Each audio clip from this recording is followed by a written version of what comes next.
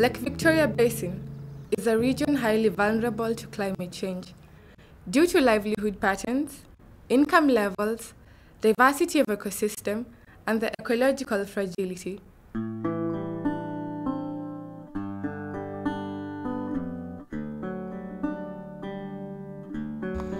Climate change, which is mostly associated with global warming, refers to the rise in average surface temperatures on Earth. An overwhelming scientific consensus maintains that climate change is primarily due to the human use of fossil fuels and greenhouse gases released into the air. Human activities such as deforestation, poor land use, and greenhouse gas emission cause climate change.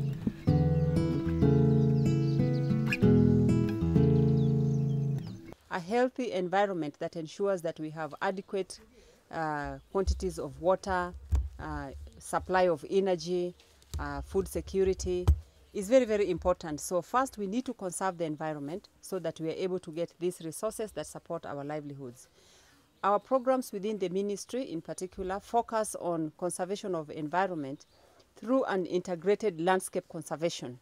That includes uh, focusing on uh, the type of uh, trees that can be planted along the rivers, how we can conserve our rivers. When we have looked at some of the rivers around, there's no water flowing in those rivers. It is red soil going down Lake Victoria. But we want to say that when we work together with communities through uh, structures such as uh, Water Resource Users Association, uh, forest, uh, community forest associations, we can be able to conserve and protect the environment and ensure that there is food security despite climate change. Um, climate change in the Lake Victoria Basin is manifested through increased surface temperatures in most areas, rainfall decreasing in some areas, while increasing in other areas causing drought and heavy rainfall which has led to flooding. Climate change has affected communities living across the Lake Victoria Basin. In Nyatike, the region has experienced extreme droughts, which has led to hunger, death of livestock, and damage of crops. This has led to wastage of huge tracts of land, which could be economically viable, thus increasing poverty levels in the community. We have been experiencing the drought for about six months because uh, the area never received short rains as usual. So actually, the disaster has been so extreme that we have lost over three quarters of our animals, livestock. And even the small bowls are now down. The level of water is quite down. And even now, as I'm talking, there are many animals rotting in the, the riparian part of the, the, the adjacent part of the lake. So many of them. They cannot move. And even now, they are removing other animals which are tired from the uh, upper areas to the lower end. And whenever they reach there, they take a lot of water, which overweighs them, and they can never move anymore. And they are rotting there. Uh, after them, they, are not even mar not marketable, and uh, nyama is everywhere. It's a health hazard even now. It's terrible. We have not planted. The, the, we don't know when the rain will come. And the population is large. The population affected is around 15,000 across the riparian section, 15,000 people.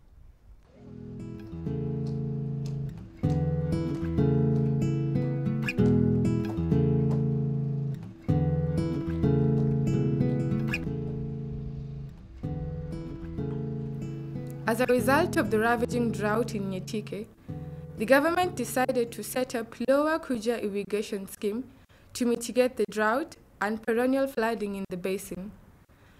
The community are very happy with this project and uh, we know that in the near future if the, the crops will be ready, the food shortage that we have been with in Nyatike as a sub-county will be over because the community will be ready and will be growing crops every month and we shall not be depending on relief which has been our perennial problem during floods and during drought. Because Nyatike has two natural phenomena. There is drought in some time of the year and there is flooding in the other side of uh, part of the year. But now that we shall have this irrigation crop going on, I mean say irrigation water going on throughout, we shall also have to challenge the drought and know how to deal with the floods. Global warming brings about heavy rainfall. This is because warmer air can hold more moisture, leading to heavier precipitation, which leads to flooding along the Lake Victoria Basin, such as the Kano Plains, Budalangi, and Nyatike.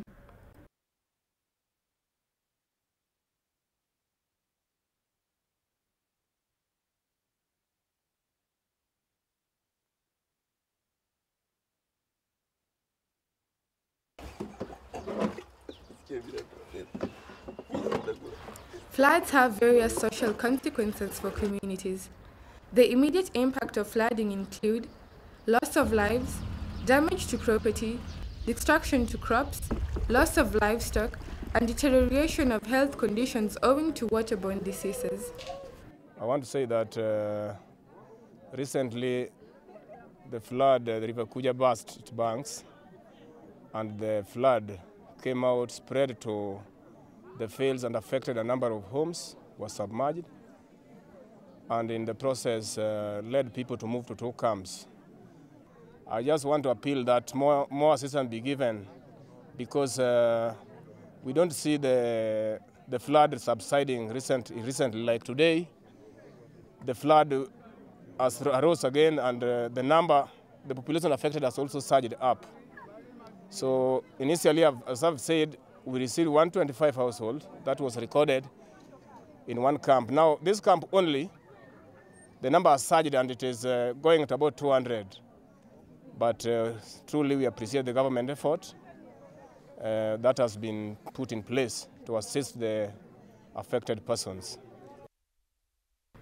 The government of Kenya, in conjunction with World Bank, has created bodies like Western Kenya Community Driven Development and Flood Mitigation Project, such as the Lake Victoria Environmental Management Project 2 Kenya and the National Irrigation Board to mitigate on climate change in the lake basin. Lake Victoria Environmental Project uh, is being undertaken by the five partner states. Now, the project aims at um, addressing issues challenging the environment situation in the Lake Victoria Basin. Uh, there are three, three main components, and the other one is on management. The first one is on um, dealing with the harmonization of policies, laws, and regulations. The second one is on pollution control. But the third one is on watershed management, which is the core of the activities undertaken in the partner states. Uh, in these, are arrangements to arrest the situation of degradation in the catchment side uh, of the basin, where too many activities, human activities, are being undertaken. In Nyatike, the government set up Lower Kuja Irrigation Scheme, which was started to reduce flooding in Nyatike and improve the livelihood of the community. This is evident by the community starting farming as a means of earning livelihood and like formerly practicing livestock rearing only. Actually, Lower Kuja irrigation scheme, as you know, is, is in Migori and is one of our major irrigation schemes or projects that we are developing currently. So the objective of this project is first of all to produce food for the community, to produce food for, for the county, and even to produce food that can be exported outside that county. And so doing, we found out that the income levels of the community will come up. And of course now we expect the living standards also to improve. So this project is for food, food uh, security and uh, improvement of the income of the people in Lower Kuja. Very much thankful for the government to have brought this project in Nyatike. About this project, we know we are going to sustain ourselves through producing more crops. For example, we are going to do cash crops, which we are going to get money from that. Due to climate change, the Lake Victoria Basin has experienced unpredictable rainfall patterns. This has led to shifts of water level in the lake.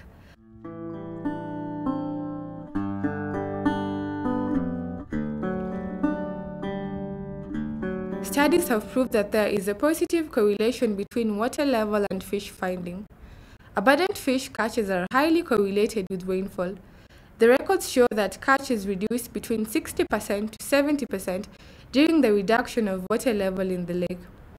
The fishermen are complaining about fish catches. And uh, uh, we found that the main fish which is being landed is Nile perch and uh, omena.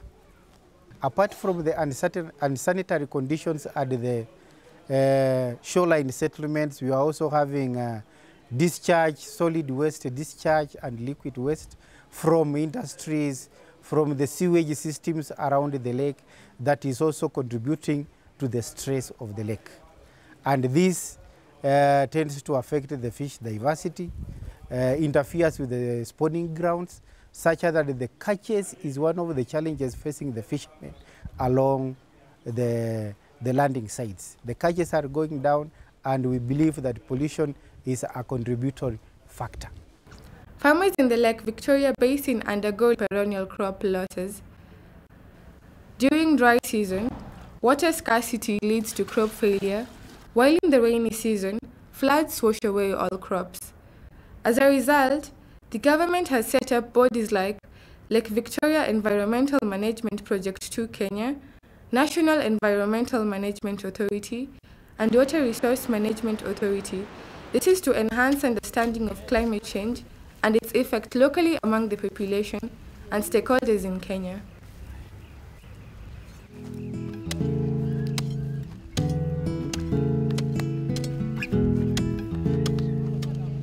Udongo tengenezeni, mbegu zote tupandeni, mashimo tuyachimbeni,